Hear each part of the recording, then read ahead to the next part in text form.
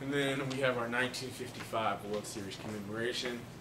Uh, 1955 is the only championship we won while in Brooklyn. So that plate you guys see with the engraved signatures, that was a plate given to uh, Pee Reese. Pee Reese was captain of the team, hardworking, selfless individual. On his birthday, July 22nd, 1955, uh, the team wanted to do something very special for him, so they gave him that uh, plate during the pregame ceremony. And that ball you guys see is an autograph ball from every member of the team. So it's a good chance you can see P. Reese's signature, uh, Jackie Robinson, Rick Campanella, you know. and then that's an actual World Series ring just to the left uh, from the 1955 championship. Much smaller than what the rings